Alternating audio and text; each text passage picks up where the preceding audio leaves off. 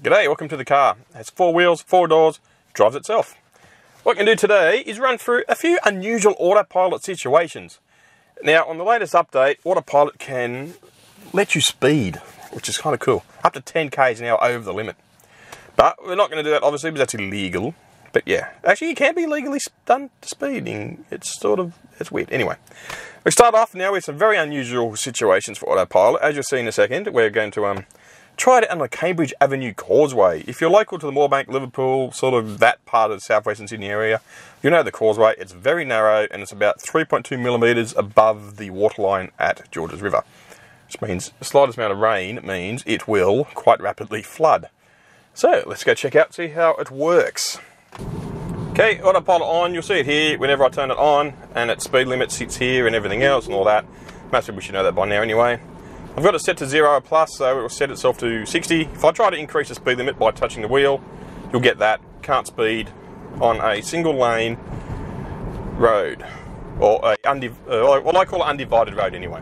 But here we are, coming down to Cambridge Avenue Causeway, very narrow. Before the update, I was very hesitant across this, but we'll see how it goes. As you can see, all the pilots engaged. As you can see, it's a very narrow bridge. Let's see what it does. Okay, so okay, maintaining speed, maintaining speed, triggering the distances. Pretty good. No change in speed. That's awesome. Normally it would go to near and just sort of, um, it would get very hesitant and slow down to like 40 k's an hour, then go across it. And if there was a car coming the other way, it would really freak out and do a massive phantom brake, which is not a good thing.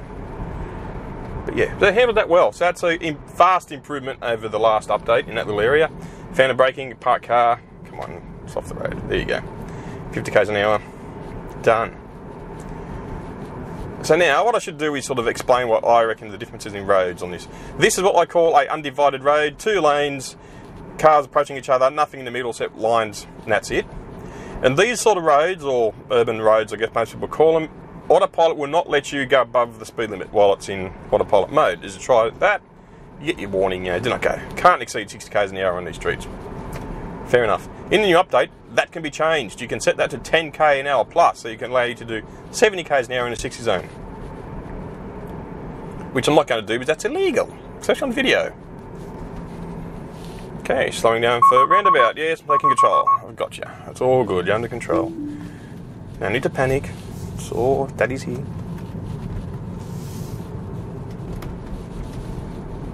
Like I said, we're trying out unusual situations, which I drive every single day. Back on autopilot, limit at 60 k's an hour. Next up, divided roads. Here we are on divided road. Now on these sort of roads, which are like you know, divided roads like this, the car, the road's divided by trees, grass, kangaroos, rabbits, small children, and foxes. Autopilot can be set at any speed above the posted speed limit. At the moment, it's set to 70. If I do a quick scroll wheel launch, like that, it's you know 85, 90 k's an hour, well above the posted speed limit. You've been able to do that before before the update, so that's nothing new. You've always been able to do that on um, motorways, divided roads, stuff like this. It hasn't changed. What has changed though is that when you're on a single lane road, like I showed earlier, you can now set the autopilot offset to plus five, plus up to plus 10 k's an hour, which means you can now exceed the speed limit on, the, on those roads by up to 10 kilometres an hour. Here we go, red light, I let the car do its thing and stop. And to get to that, you simply bring up the autopilot menu, scroll right to the bottom, you have offset here.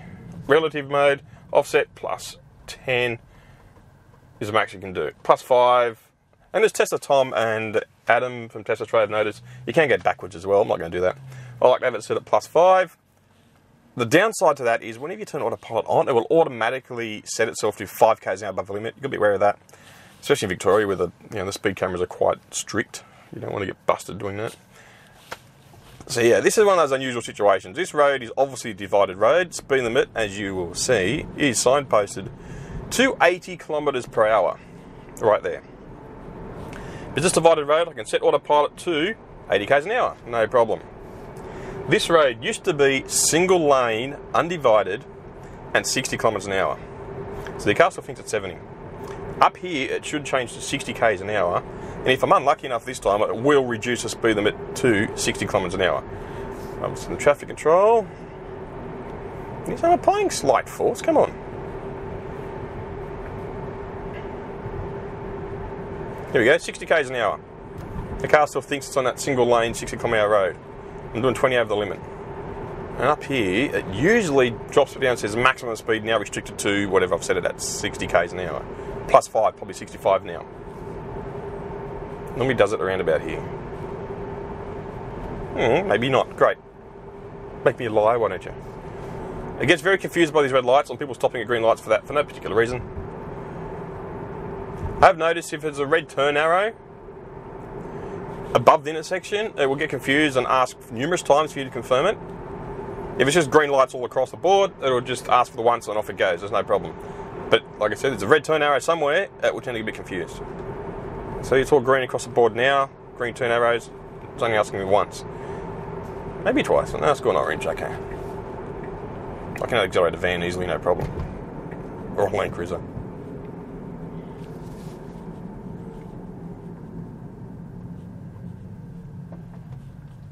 Hmm, auto stopping. Cool, that's awesome. Anyway, the next bit autopilot speeding, not speeding. Okay, here we are, back onto a single lane road. 70k an hour posted speed limit. Autopilot will limit me to 70 kilometers an hour. No problem. But coming up ahead is a series of corners signposted at 45 kilometers an hour. So we'll let the car do its thing. There's no traffic behind me because I've actually made sure that they went away. And we'll see what the car does. 45k an hour posted speed limit. Car is slowing. It should slow to about 45 k's an hour. Pull the wheel. Yeah, 45 k's an hour, a little bit less. It's alright. It's a bit very hesitant. That's kind of strange. But it's doing it just fine. Not a problem at all. See, look. Exit of the corner, though, at some reason takes a bit to slow up. Now, what I'm going to do here now is it'll slow again, but what I'll do is I'll touch accelerator halfway through the, the corner, and it will accelerate round the corner. So I'm touching throttle now, foot back off the throttle, and it's now maintaining that speed. 50 k's an hour. That's a lot more comfortable for me anyway, and the car's behind you. So the car can do the corners faster than it normally does, which is kind of weird. But it's sort of cool anyway. So if it slows down for mid corner, which it does like that, just tap the throttle a little bit to where you'd be comfortable, let it go, and it would do its thing. Next corner again, 45k an hour, see what it does. Slowing, fair enough.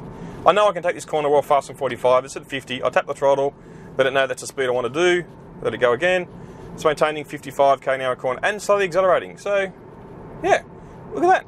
Nice. Doing it well. Pretty cool.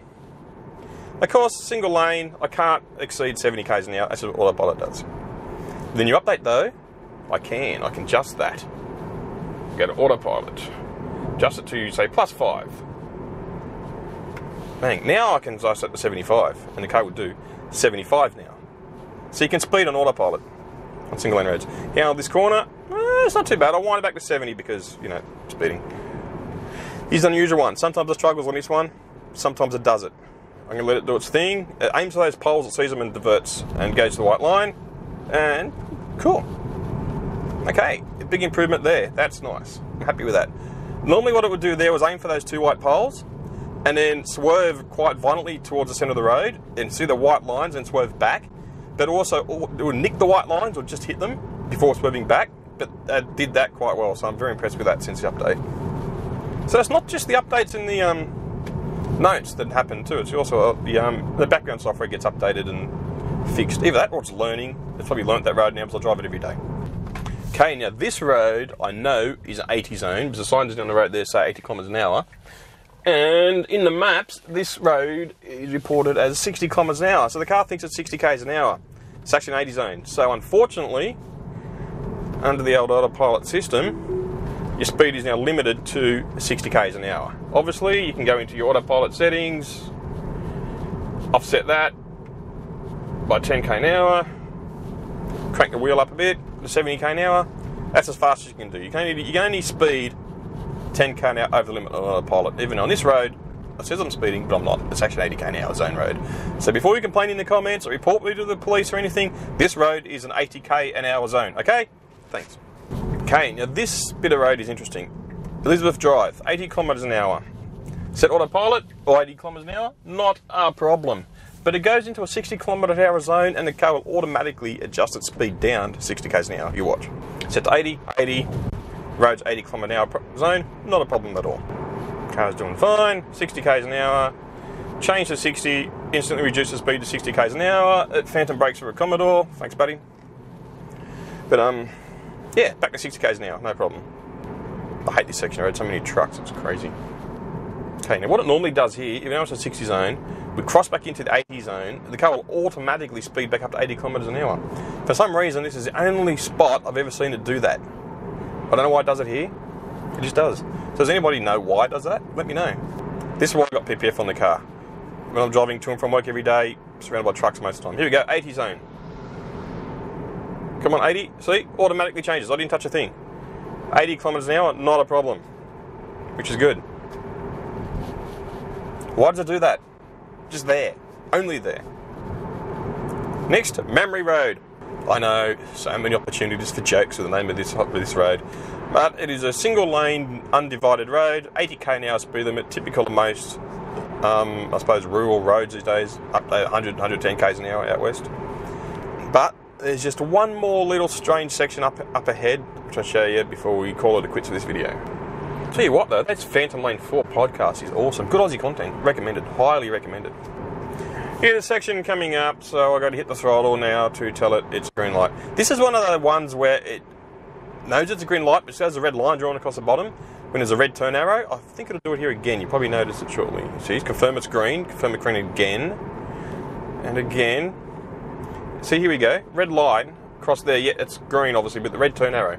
I think the red turn arrow on the centre of the road or on the passenger side of the road confuses autopilot in Australia. You just saw red line. Uh, it's green light, obviously, but it's a red line. Now, this is where things get weird.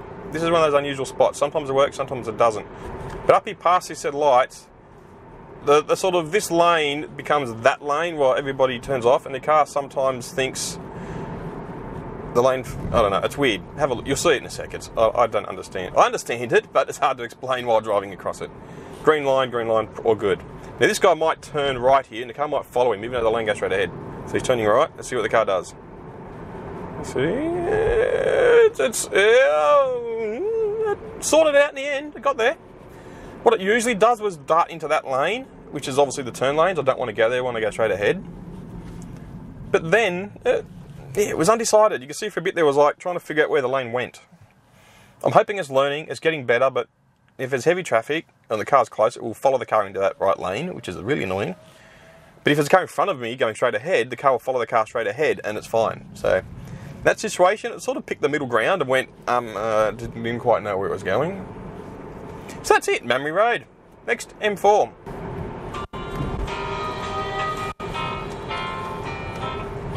This elevator music is just brilliant.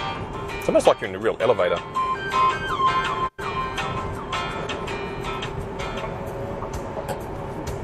And one of my cameras just died. Which one is that? The 360 just overheated again. I mean, you can always trust a 360 to overheat, can't you? Man, that thing's roasting. Mobile speed camera, hi! Well, I guess with the depth of the, uh, the 360 camera now, I can't show the M4 exiting on autopilot, navigate on autopilot. So, with that successful failure, I will have to leave this video here. See if you got this far. Hi, Mum and Dad, the one or two people that watch this far. Thank you for watching. Take care of yourselves. Wear a mask in public if you have to, and be safe. And thanks for watching. Bye. Play the right podcast this time, damn it. Hmm.